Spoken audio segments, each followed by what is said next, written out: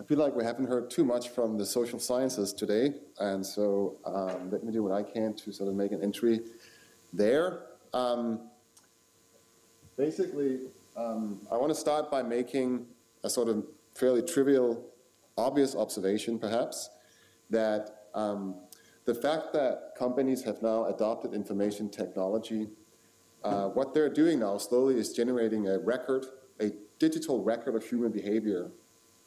Uh, this was observed already back in the day, going back to the very earliest catalog uh, marketers, where you know, back then people pointed out that, well, this is kind of interesting because this sort of generates a, a uh, insights into what people like, people's habits, uh, preferences, and attitudes.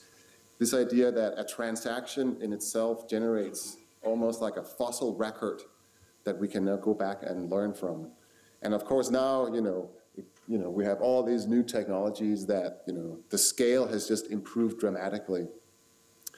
And so uh, a lot of this uh, activity is, is, you know, it's, it's completely mundane in nature. You know, web transactions, Twitter feeds, as we've seen earlier, uh, when you buy stuff from Amazon and so on. But, but the point is that, you know, this is, is incredibly valuable data that in the social sciences and other fields we should start, start to sort of take seriously. Um, in the interest of time, let me just talk about one particular uh, aspect, which is going to be in um, uh, psychology and decision making, and basically make the following thesis that you know, when you observe a large number of decision makers, even in trivial mundane tasks, it tells us something about who they are, their values, their ideologies, and their traits. And so sort of pushing this one step further, we can start talking about now doing big data psychology uh, I felt like I should have at least one slide that said big data, and here it is. Um, of course, in psychology, the traditional uh, methodology has been experimental lab studies with a small number of human subjects. Um, lots of interesting findings there. Those studies are great. But now we can complement them with these, analyzing these transactional databases and see sort of, do we get something similar? Do we get something different? Uh, since I don't have a lot of time, let me just talk about one thing that we've looked at, which is the effects of aging on decision making. So what happens as you get older to you as a decision maker? There's a whole bunch of interesting findings that has come out from the lab, running these small scale lab studies. So things like that in general, we suffer a decline in fluid intelligence, fluid cognition. That is, we get worse at inductive and deductive reasoning when solving novel tasks. We tend, as we get older, to attach less importance to novelty. We prefer to sort of deepen existing relationships versus forming new ones. We become more risk averse. Uh, there's some recent evidence from neuroscience to suggest that, in fact, there's also gender effects here. Uh, studies have suggested that the female brain is less susceptible to some of these cognitive declines than the male brain. Um, uh, it's even been argued that you know the female brain, as we get older, is roughly 10 years younger than the male brain. Just lots of interesting insights there. Is this actually something we can see when we study these, what we might call mundane activities? Monitoring activity or behavior for hundreds of thousands of decision makers. Do we see these psychological effects showing in when we watch people make decisions? Um, here's one of the most mundane things I can imagine, which is going to the grocery store um, so say we took a large database of decision makers. In this case, we have over hundreds of thousands of US households where we can observe over multiple years what they buy at the grocery store. Everything, every single transaction in every product category, what they buy over multiple years for the same household for hundreds of thousands of households. What might we learn from that? Does that map onto what we have found in the lab? Now, to do something like that, you first have to define some behavioral measures that kind of map onto these theoretical constructs. And so you can start to do things like, well, suppose I want to study habits. Well, one, one way in which we can define a habit, there's different ways, but one way is to take a product category, take your entire spending, your entire expenditure in that product category, and then see how much of that, how big a fraction of that goes to your number one choice. So how concentrated is your decision on just one thing? If that's large, it's, it's, it's evidence that you're sort of crystallized or fossilized in that decision making. You keep buying the same thing over and over. Uh, we can define measures of novelty seeking, like uh, the extent to which you buy new products launch, launched in the market. We can define measures of risk aversion.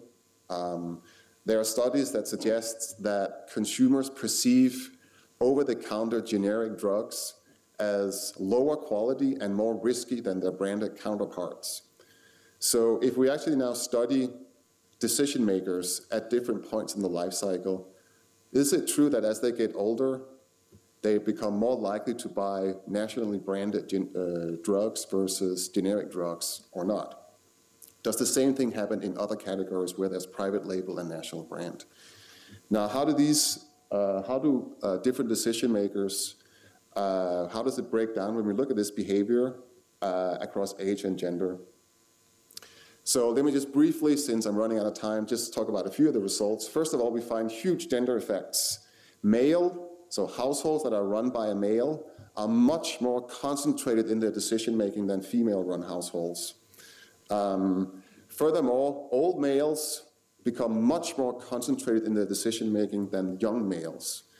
This happens in particular in product categories where decisions are hard, large categories that you have to buy frequently. This is in those very categories where we see old males just start doing the same thing over and over again.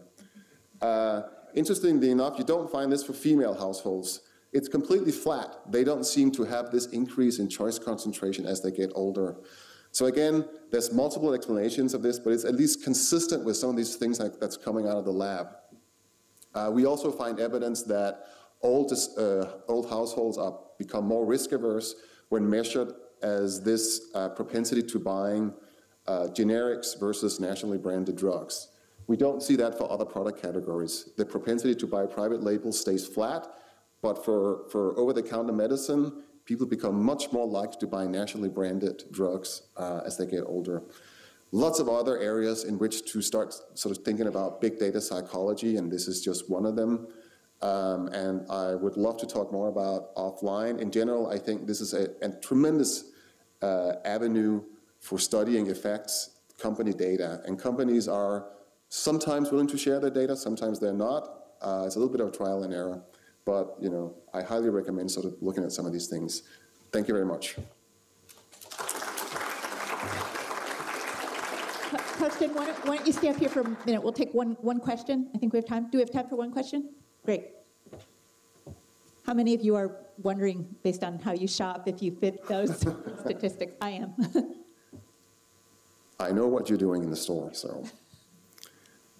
No questions. No questions. Okay. Come on, wake up, people. Good, Mike, go for it. Okay, so uh, what, what volume data uh, you, you working with and how difficult was it to get it from the store? Yeah, so, so this is actually data that's been collected by a third-party research company that has then generously made it available to me.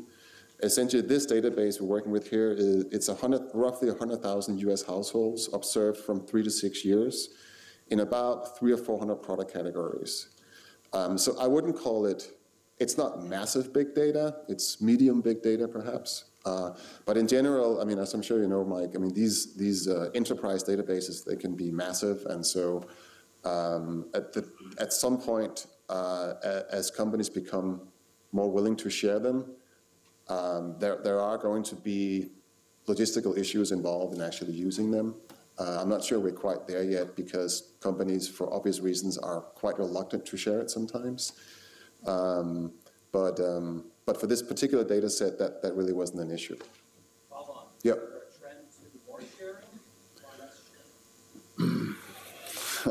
That's a good question. Um, I think, so, so here's, here's my impression. That there's general, there's, there's definitely a trend towards companies being more interested in using data analytics. There's no doubt about it. And that almost forces them to be more forthcoming because they have to bring us researchers into their fold, so to speak. So in that case, yes. On the other hand, they are still very, very paranoid about data leaving their organization for understandable reasons. So Um, it's something I spend a I spend a lot of time banging my head against the wall dealing with it, but that's just the nature of the beast, I guess.